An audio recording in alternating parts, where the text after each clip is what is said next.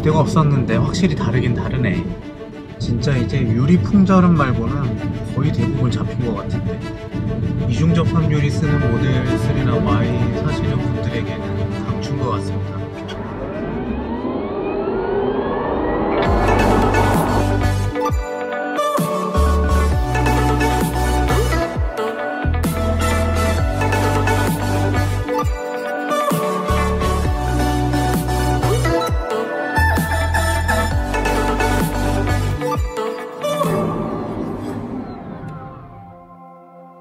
안녕하세요 테슬라 오너 분당 프로도입니다. 방송을 시작하기에 앞서 한 가지 소식을 공유드리고자 하는데요. 저는 최근 모델 Y의 주문을 취소했습니다. 물론 모델 Y에 문제가 있거나 실망을 해서 그런 것은 아니니까 대기 중이신 분들은 놀라시지 않아도 괜찮습니다. 사실 저는 SUV를 선호하는 스타일이 아님에도 제가 Y를 주문했었던 가장 큰 이유는 SUV의 장점도 아니고 넓은 실내 공간 때문도 아니었고요. 바로 늘어난 주행거리 그리고 이중 접합 유리가 가장 큰 기대사항이었는데요. 이 두 가지 이유가 모두 의미가 없게 되어버렸답니다. 저는 오랜 고민 끝에 과감한 결정 한 가지를 하게 되었습니다. 이번 기회에 무려 전기차 오너의 끝이라고 할 수 있는 단독주택 건축에 도전을 하기로 하였어요. 최근에 토지 계약까지 마치고 건축사 후보들과 설계 미팅을 진행을 하고 있는데요. 어느 정도 진행이 되면 전기차 오너의 테슬라 하우스 건축기도 영상 시리즈로 준비할 예정이니 집밥 충전 환경 구축을 꿈꾸시는 전기차 오너분들께 많은 도움이 되셨으면 좋겠습니다. 이로 인해 조만간 집밥이 생기게 되면 주행거리나 충전 스트레스로부터 자유로워질 것이라서 저는 지금의 모델 3로도 충분해지게 될 것 같습니다. 그래서 당장의 모델 Y는 취소해서 빠듯한 이 건축 자금에 조금이라도 보태고요. 추후 다시 돈을 모아서 조금 더 후일에 모델 S로 한 번에 가보려고 합니다. 그래서 저는 다시 제 모델 3에 좀 더 애정을 기울여 보려고 하는데요. 이참에 몇 가지 새로운 튜닝 아이템들도 준비하고 있으니 앞으로도 많은 기대를 부탁드리겠습니다. 그 시작점이 지난 리뷰 방송이었던 한쇼 LCD 계기판이었고요. 오늘은 바로 두 번째 아이템을 소개드리겠습니다. 모델 Y를 선택했던 이유 두 가지. 단독 주택으로 구형 모델 3의 충전거리 문제를 해결했으니 이번에는 이중 접합 유리의 문제를 해결해 봐야겠죠? 그래서 오늘은 풍절음 방음 시공을 위해 테슬라 전문 방음 업체인 노이즈킹 용인 본점으로 이동 중입니다. 저는 모델 3를 19년 11월에 출고받고 어느덧 연수로는 3년 차에 접어들고 있어요. 여전히 테슬라는 매우 조용한 차라고 생각을 하고 아직도 저는 신혼 같은 애정으로 모델 3와 함께하고 있는데요. 다만 너무 조용하다 보니 저속 주행 중 도로 공사나 노명 상태 불량과 같은 상태가 좋지 않은 길을 갈 때면 이 돌이 튀는 소리와 같은 소리들, 즉 노면 소음이 들리는 문제, 그리고 고속화도로 등 한 70km 이상의 속도에서 어쩔 수 없이 들리게 되는 풍절음의 문제. 이 두 가지는 조금 불편한 것이 사실이었습니다. 저는 이번에 노이즈킹의 가장 기본 A 패키지를 한번 시공을 해보고요. 이 저속과 고속에서의 소음 문제가 어떻게 개선될지 한번 확인해 보도록 할게요. 네, 어느덧 노이즈킹 용인 본점에 도착하였습니다. 본점의 최현석 대표님 그리고 서울직영점의 이태호 대표님도 마침 매장에 계셨어요. 어, 가볍게 인사를 나누고 저는 바로 시공에 들어갔습니다. 먼저 바퀴와 펜더 커버를 모두 탈거하고요. 차 내부와 펜더 커버를 깨끗하게 세척하는 작업으로 오늘의 시공이 시작되었습니다. 시공을 받으면서 테슬라 모델 3에 대해 좀 더 공부를 할 수 있었는데요. 앞서 말씀드린 모델 3의 소음 문제 두 가지가 발생하는 원인은 크게 세 가지로 정리해 볼 수 있을 것 같아요. 오늘 노이즈킹 기본 패키지 A 패키지의 시공을 통해서 이 세 가지 문제를 직간접적으로 해결해 보도록 할 텐데요. 지금부터 하나씩 살펴보도록 하겠습니다. 첫 번째는 앞바퀴 내이뻥 뚫린 구멍으로 유입되는 바람 소리의 문제입니다. 보시는 것처럼 이 앞바퀴 휀더 커버를 벗겨내면 생각보다 큰 뻥 뚫려 있는 공간들이 보이게 되는데요. 여기로 적지 않은 바람들이 유입되면서 풍절음을 발생시키고 있었습니다. 노이즈킹이 자체 개발한 이 부틸 패드가 이 공간을 꼼꼼하게 막아줄 예정입니다. 이 부틸 패드는 일반적인 방음 패드와 달리 국내 최고 수준의 150미크론의 두툼한 두께로 제작이 되었습니다. 제가 직접 만져봤는데 아주 짱짱하더라고요. 이 부틸 패드가 4개 바퀴 팬더 내부의 구석구석을 꼼꼼히 채워주게 됩니다. 알루미늄이잖아요. 이 알루미늄 두께가 얼마냐에 따라서 소음 차단이 잘 되고 안 되고 그 차이가 있거든요.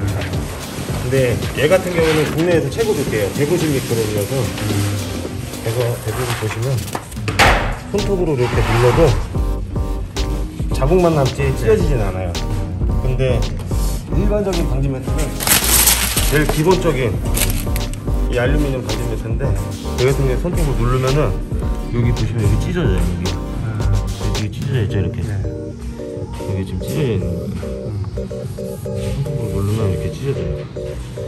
그래서 이 알루미늄 두께가 얼마나 두껍냐에 따라서 어, 소음이 차단되냐 안 되냐에 따라 또 두 번째는 타 브랜드 대비 흡음 성능이 월등히 떨어지는 펜더 커버의 문제입니다. 특히 모델 3는 기본적으로 앞 뒤바퀴에 펜더 커버 자체가 흡음 성능에 차이가 있었어요. 얘가 안 들리잖아요. 얘가 안 들리잖아요.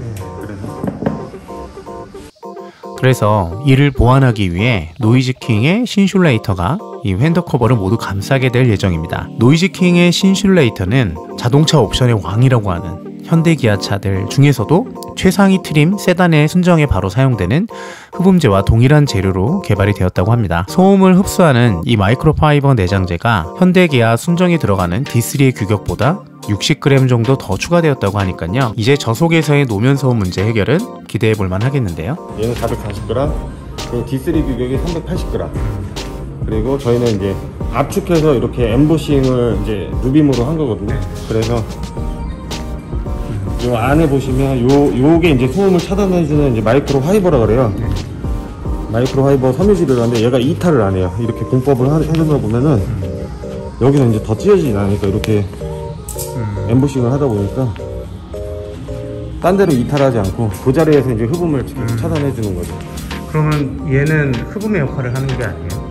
맞아요. 얘는 흡음의 역할이고 쟤는 진동 소음을 잡는. 진동 소음을 먼저 잡고 나서 못 잡는 나머지 이제 잔소음 같은 거 있잖아요. 그걸 이제 흡음제로 한 번 더 흡음시켜서 실내로 들어오지 못하게 이렇게 하는 작업이에요.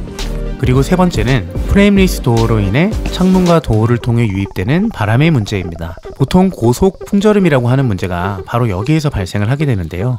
노이즈킹의 풍절음 차단 기본 A 패키지는 4개 도어, 그리고 frunk와 트렁크까지 노이즈킹에서 직접 제작한 이 quiet sealing이라는 작업이 진행되게 됩니다. 쉽게 말해서 여닫히게 되는 부분에 바람이 유입될 수 있는 공간을 이 sealing들이 메꿔줌으로 인해서 풍절음의 발생을 원천적으로 차단하는 그런 원리라고 할 수 있겠습니다. 물론 frameless 도어다 보니까 이 창문 위쪽으로는 sealing이 부착이 되지 못해요. 여기는 지난번 리뷰했었던 오토크로바의 wind deflector door visor가 기능을 조금 더 보완해 주기를 저는 한번 기대를 해보겠습니다. 자 이렇게 트렁크와 프렁크의 콰이어트 실링 작업까지 모두 마무리가 되었습니다. 전후 비교가 궁금하니 어서 결제를 하고요.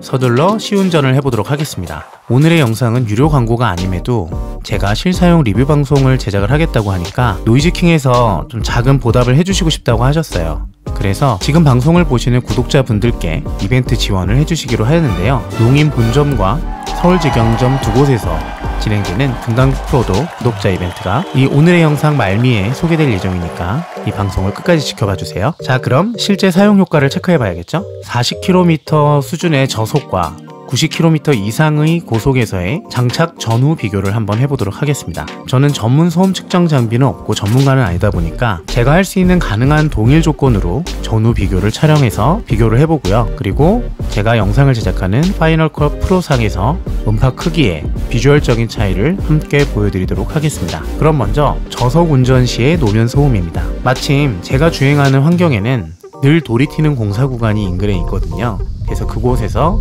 한번 비교 촬영을 해보도록 하겠습니다. 먼저 시공 전 화면입니다.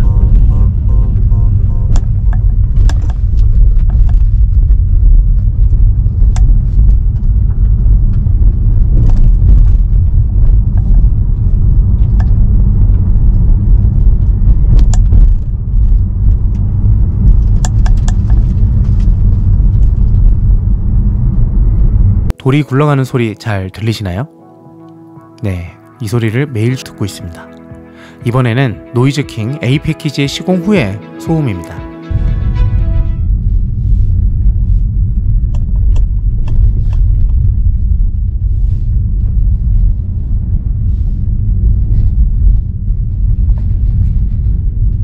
어떠신가요? 차이가 느껴지시나요? 저는 무엇보다 이 효과에서 가장 깜짝 놀랐는데요. 정말 도로 노면의 이 소음은 확실하게 줄어서 저는 오늘의 시공 중에서 이 점이 가장 만족스러운 것 같습니다. 물론 고프로의 마이크로 촬영된 소리이다 보니까 실제 운전석에서 체감되는 정도보다 뭔가 문제가 덜해 보이긴 하는데 평소에는 상당한 스트레스를 주는 요소였거든요. 이 음파의 크기를 보시면 이 전후의 차이를 확실히 느끼실 수 있으실 겁니다. 음파 그래프상에서 빨간색이 사람이 듣기 불편한 소음과 같은 음역대라고 할 수 있는데요. 좌측 시공전을 보시면 빨간색이 빈도 높게 발생하고 있는데 반해서 시공 후에는 빨간색이 발생 빈도가 상대적으로 줄은 것을 보실 수 있습니다. 특히 딸깍딸깍거리는 고프로의 잡음이 빨간색 영역에 포함되어 있다는 것을 생각을 해보시면 기본적으로 특히 거슬리는 노면 소음 자체가 많이 줄었다는 것을 쉽게 이해하실 수 있을 겁니다. 다음은 고속에서의 풍절음 비교입니다. 둘 다 고속화 도로에서 촬영이 되었고 90km 이상 속도에서 한번 비교를 해보겠습니다.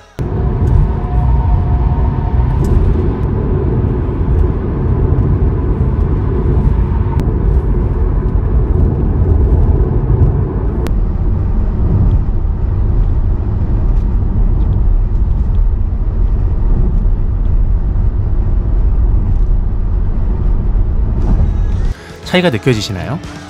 사실 저는 저속 시의 노면 소음 개선에 좀 더 기대를 했었고 이 고속에서는 별로 그렇게 큰 기대를 안 하고 있었는데요. 생각보다 차이가 커서 상당히 놀랐습니다. 이렇게 음역대 그래프를 보더라도 전후의 차이가 확연히 느껴지시죠? 물론 풍절음 자체가 완전히 사라지시는 것을 기대하시는 분이라면 충분히 실망하실 수 있습니다. 풍절음이 원천적으로 사라지는 것은 상당히 어려울 것 같은데요. 그럼에도 순정 상태보다는 확연한 차이가 느껴질 수 있는 정도라고 말씀드릴 수 있을 것 같습니다. 특히나 주로 고속에서 주행이 많으신 분들이라면 이 기본 A 패키지 정도의 시공만으로도 큰 체감상의 차이를 보실 수 있지 않을까 그렇게 생각을 합니다. 네, 이렇게 시공부터 결과의 비교까지 모두 진행이 되었는데요. 앞서 말씀드린 것처럼 노이즈킹 용인 본점과 서울 직영점에서 리뷰 방송의 후원으로 작은 구독자 이벤트를 진행해 주시기로 하였습니다. 현재 노이즈킹의 방음 패키지는 보시는 것과 같이 이렇게 3개의 패키지로 구성이 되는데요. 이벤트에 참여하신 분들은 A, B 패키지에서는 5만원의 금액 할인, 그리고 C 패키지는 10만원의 할인 혜택을 받으실 수 있습니다. 이벤트에 참여 방법은 본 방송에 응원 댓글을 하나 달아주시고요. 예약 시 분당 프로드의 방송을 보고 이벤트에 참여하고자 한다 라고 말씀만 해주시면 됩니다. 아주 간단하죠? 물론 여러분들이 받게 되는 할인 혜택이 분당 프로드에게 돌아오는 것은 아니고요. 저는 여러분들이 주시는 응원 댓글 이것만이 분당 프로더의 큰 보상으로 생각을 하고 있습니다. 네, 오늘은 도로 노면 소음과 풍절음 감소를 위해 노이즈킹의 방음 패키지 A를 시공하고 또 리뷰해 보았습니다. 저처럼 테슬라 모델 3 구버전을 타시면서 노면 소음과 풍절음의 스트레스를 받으셨던 분들 그리고 이중 접합 유리가 적용된 refresh나 모델 Y를 출고받았지만 여전히 이런 방음에 대해서 고민이신 분들께 고급 세단 수준의 풍절음 제로로 무장한 노이즈킹 시공을 한번 고려해 보시라는 의견을 드리면서 오늘의 리뷰 방송을 마치도록 하겠습니다. 네, 오늘의 방송은 여기까지입니다. 오늘의 방송이 도움이 되셨다면 구독, 좋아요, 그리고 알림 설정 마지막으로 따뜻한 댓글 하나 꼭 부탁드리겠습니다. 여러분의 일조가 분당 프로더가 새로운 컨텐츠를 만드는데 큰 힘이 됩니다. 지금까지 All About 테슬라 모델 3 분당 프로더였습니다. 감사합니다.